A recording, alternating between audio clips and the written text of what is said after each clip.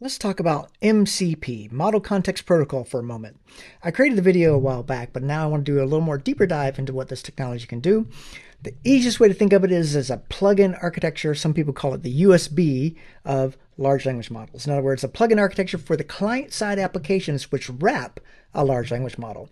So if you're building an application that uses chat completions and you're used to things like tools and capabilities like structured output, then you can plug MCP servers into that. And typically that means you already have a host application. So we'll show you one of those that is pre-built already. But the idea of MCP is that it can expose tools, those tools, of course, to be dynamically invoked by callback from the model. It can also expose resources like access to certain data, and that would be consumable by your application code, the Python code or JavaScript code or Java code you're wrapping around that model. And then prompts. Prompts are kind of like predefined templates, meaning you can have uh, you know insights, if you will, as to how your MCP server ought to be called by having a predefined template uh, prompt there. Uh, let's show you a couple of those examples. I don't have any resource examples, but I got the other two.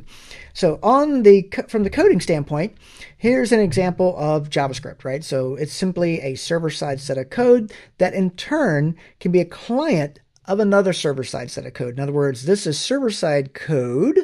Now, when I say server-side, I don't mean it has to run on a server. It can run on the on the laptop. It can run on a Windows machine but it is expecting to be invoked by the MCP client, by let's say Claude Desktop, by the by the application that's consuming it, and it in turn can call another API. Like in this case, it actually reaches out and calls um, the TMDB, right? So the moviedatabase.org API. Uh, here's another simple example where it's just a hello world. You can see this is Python based and it has a nice little MCP tool here, which comes from the FastMCP API from the MCP team. So you just simply declare what your tools are, give them a nice description. Always give good descriptions, as descriptive as possible, so that way the large language model knows what you mean by these things as you expose tools to it. And then here's a Java example. You can see here's some, again, nice tool examples. This is Quarkus, LangChain4j, and you can define what your tools are and uh, and and expose those. This is another example though where it's also a client server of a client server. The client asks the tool. The tool basically says I'm a client of another server. In this case, the API uh, for APIweather.gov. And here's the one I'm actually going to show you though, because this is one of the more powerful ones. This is one Max Anderson created. This is a JDBC based one, meaning you can talk to any database you want. There's two prompts in here, visualize ERD, create sample data, and uh, many, many tools for interacting with uh, a database, right? So you can see all those different tools there, describe table, create a table, et cetera, et cetera, list all tables. So let's actually go see that one in action. Again, you need a good client-side tool to do that. Claude Desktop, being the people who invented MCP, were the first to do that. You can look right here and see there's a little icon right here that says, here are our MCP based tools listed right there. Uh, and you can also click here, right? You can get more information. What are the MCP servers? You can see there's MCP uh, server JDBC and weather. By the way, this file I keep over here is the claude desktop config underscore underscore there uh, .json file and you got to have that in the correct location in case of a Mac here, library application support. Uh, put that, you got to create a file and then add the appropriate JSON there. And so you got to hopefully find someone who knows what this JSON is, or you can kind of try to type it here off my screen. Hopefully it hasn't changed since by the time you watch this video. But this is the way to describe, uh, in the case of Claude Desktop, the types of MCP servers it has access to. Okay, and this one has access to my local Postgres that I'm running. So my local Postgres, you can see here via pgadmin, it has access to this database called MyMCP. And if I come down over here and look at it, you can see there are no tables here yet. Okay, it's an empty blank database that I created it because I want Claude Desktop to have control of it. All right, the client now has control of it. So you can see I can immediately do something like pick a prompt. You saw the prompts earlier. Here's uh, sample data. And I might want uh, something like cheetahs, right? So I'm a big fan of wildlife, and I notice cheetah conservation is a big deal and a big challenge. So I can say, build me a database about cheetahs. Now at this point, I'm kicking this out to um, Sonnet, in this case, from Claude Desktop's perspective, and it's going to figure out the rest. It just knows I want cheetah information. It's going to presume I want cheetah conservation information, and I want a whole database based on that. So I'm going to basically tell it to allow uh, my MCP server invocations there, and it'll probably prompt me a few times. There we go. Create table. Yes, I want to create a table. If we look down here, it's going to start creating tables for me. Uh, reserves, cheetahs. Uh, let's see what else we might have here. Okay, so it's working like in an agentic way, going through the process of doing all the things it wants to do, and it has full access to that MCP server with like write queries, query the database, create tables, interact with the database information. And if we go look over here, by the way, if we go refresh, we should see that it is filling up there. All right, so we now have three different tables, and I have cheetahs here with different columns. Let's look at that. And, and I can also say view. It'll also populate it with default data.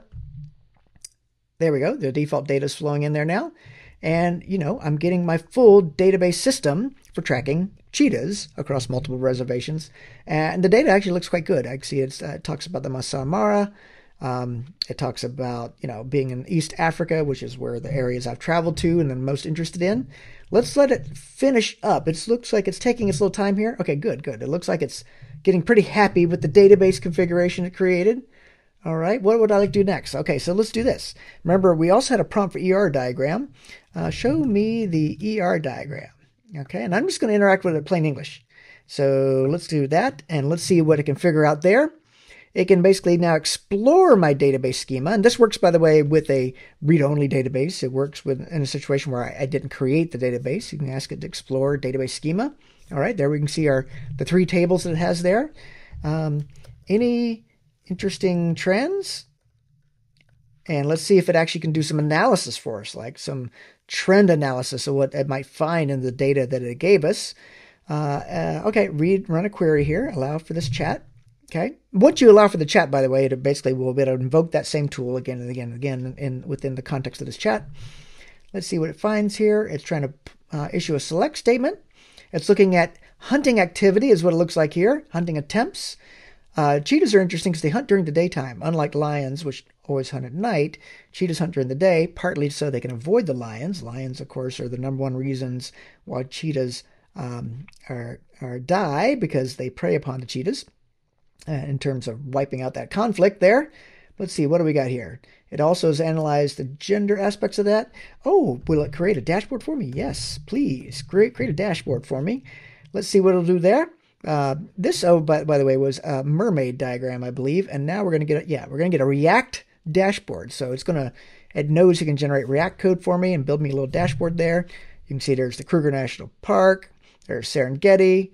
Uh, so I've been to most of those parks they listed there, which is interesting. You can also see the data there, type of prey that they prey on. That looks pretty normal to me as well. But so I can't say all the data is 100% accurate, but from my, you know, uh, quick glance at it, it looks pretty good. And here's the worst case scenario. I got to go in there and do some work myself, but I have an existing working database now that I can see little dashboards on. I can understand the database schema. And now, if I want, I can go use another tool to build a whole application around this if I choose to. So this is an incredibly powerful MCP server.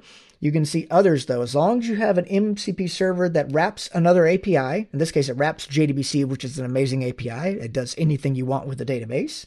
But you could have any other API, whether it be talking to movie databases, talking to Ansible, talking to anything for that matter, uh, and then you can um, interact with it from Claude Desktop's perspective.